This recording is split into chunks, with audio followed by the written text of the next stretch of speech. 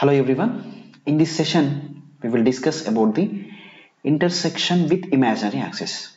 What is this inter intersection with imaginary axis? In this, in the last class, we discussed about yeah, whenever we are drawing the root locus, whenever we are drawing the root locus, for example, some root locus will have like this so whenever we have a root locus whenever two poles are available the root locus is like this. It will at break away point. From this it will go to the some imaginary axis like this. Imaginary axis like this. So it will be root locus will be entering and touch at imaginary axis and it will be flowing. This is also the touch at imaginary axis and it will flow like this. So this point where it touches the imaginary axis. These points. These points as intersection of imaginary axis. Wherever the root locus touches the points is known as is known as intersection of imaginary axis. Intersection of imaginary axis imaginary axis we need to find out these points. We need to find out these points. So look at here. This is the intersection of imaginary axis how we will find out this imaginary axis means first point form the characteristic equation. That means you know the characteristic equation. What is the characteristic equation? 1 plus g of s h of s is equals to 0 nothing but the characteristic equation and it will give the information of the poles. Yes. And write the RH criteria. Next you will go for write the RH criteria. What is RH criteria? Routh Hurwitz criteria. By drawing this we will get the which are how stable or not unstable and marginally stable like this. Third find the k marginal. So we will we will get the gain that is marginal gain k marginal. Fourth form the auxiliary equation. What is auxiliary equation? Wherever we have for example so RH criteria s cube s square s power 1 s power 0 is there. For example we have the zeros here. Then by using this we will form the auxiliary equation.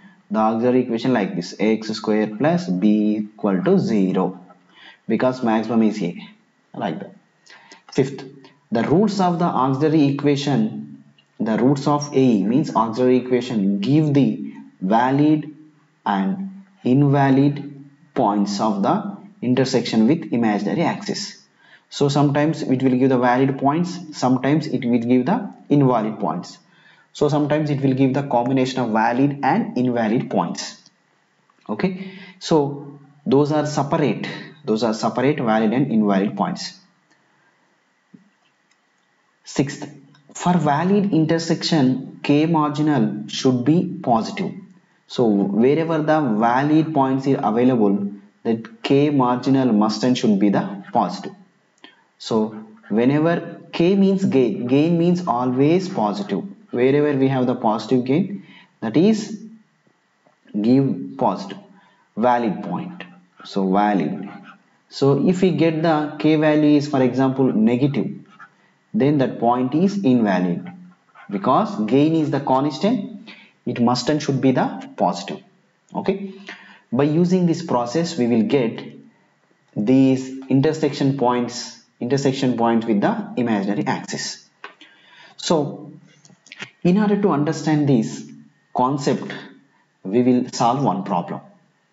Here the problem is find the intersection point with imaginary axis g of s h of s equal to k by s into s plus 2 s plus 4 so this is the question.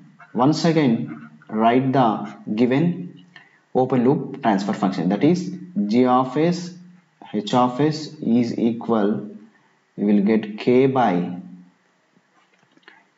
s into s plus 2 and the s plus 4 okay? This is the given open loop transfer function in this generally you know the poles. Number of poles is 3 the poles are what are the poles? 0 is the one pole minus 2 is the another pole minus 4 is the another pole. What about zeros? Generally there is no zeros. Zeros will be 0 zeros will be 0 and we don't we didn't know zeros but you should take whenever the zeros is there is no zeros you will take the asymptotes infinite and infinite and the infinite. Here he is asking to find the intersection point with the imaginary axis. So what is the first step? First step is to take form a characteristic equation. The characteristic equation is 1 plus g of s into h of s is equals to 0 in this 1 plus g of, g of s h of s is this is the value. Just write down this value k by s into s plus 2 and s plus 4 is equals to 0 so by doing the LCM by doing the LCM we will solve like this. S into s plus 2 s plus 4 plus k is equals to 0 so we will solve like this s into by solving this we will get s square plus 2s plus 4s 6s okay? 2 into 4 8 plus k is equals to 0 from this finally by doing the multiplication we will get the s cube and 6s square plus 8s plus k is equals to 0 okay finally we are getting the auxiliary equation. The auxiliary equation is auxiliary equation is s cube plus 6s square plus 8s plus k is equals to 0 this is the auxiliary equation. So in this we will find out we will form a RH criteria. From that we will take the auxiliary equation. From that we will move. So actually this is not auxiliary equation. This is the characteristic equation.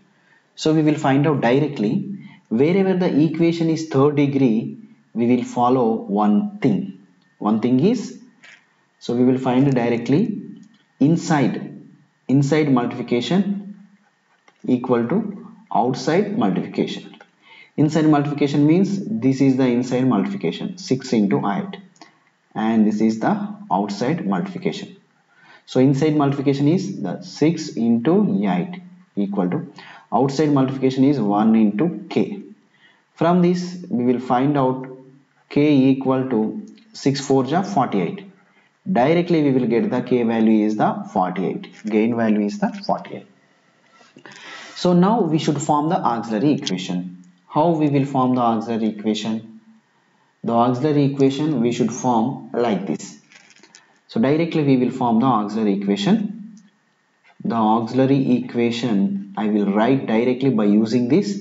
What is the maximum what is the maximum uh, maximum degree after s cube is? 6x square. And what is the uh, minimum? Minimum is s power 0 6x square plus k is equals to 0 here. So from this substitute k value here 6s square plus k value is 48 is equals to 0 so here 6x square equal to minus 48 6 1 ja 6 4 ja.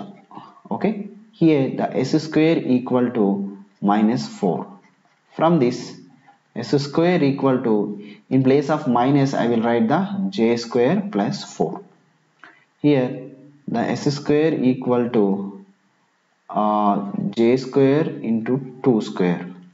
From this we can write s value equal to 6 4 ja sorry 6 8 ja. This is not 4 ja. 6 4 ja is 44 6 8 ja is right. So this is the 8 and this is the 8 so wherever the 8 is there I will replace this 8 with the 2 into root 2 okay? 2 into root 2 whole square. So we will get two things. One is s1 equal plus j2 root 2 and another one equal to s2 equal to minus j2 root 2 plus j2 root 2 and minus j root 2 okay? So we will get the imaginary axis it will touch at the plus j root 2 so plus j is imaginary axis. And second is touch at the minus j root 2 it will touch at the minus j2 root 2 so here now we will draw the we will draw the root locus. We will understand very clearly. So again before that uh, we will take the given thing. The given equal to g of s and h of s is equal to k by s into s plus 2 and s plus 4 yes. So I will draw the root locus here. So I will take the s plane. I will take the s plane here. I will take the s plane here. Yes. Here first is first pole is s equal to 0 directly. Then second pole is s equal to minus 2 s equal to minus 2 third pole is s equal to minus 4 so we have the three poles. And there is no root locus diagram. So there is no root locus diagram. But here there will a root locus branch maybe it will be it should be a centroid. It should be a centroid. And it has it doesn't have any RL branch but it have some RL branch. So this is also a RL so we have RL branches is like this. We have RL branches is like this. And we have centroid uh, centroid maybe this this and this. We don't know where it is but minus 2 minus 4 minus 6 maybe here the centroid point if you find out the centroid this is the point because minus 3 maybe because you should find out no problem at all. What is centroid minus 2 minus 4 minus 0 by 3 equal to minus 6 by 3 again minus 2 is there. Minus 2 is there. Maybe these these are the centroid point. From this we will take these are the two two asymptotes and here also the two asymptotes. Okay?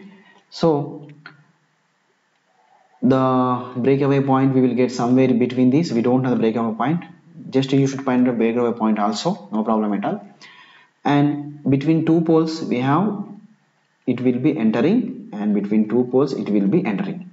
After that so it will it will follow like this. After that it will follow like this. So it will be follow and it will touch. Again it will be going. Same this is also it will follow and it will touch is here and again it will follow like this. It will follow like this. And it will be touch the our root locus will be touch at this point and the this point.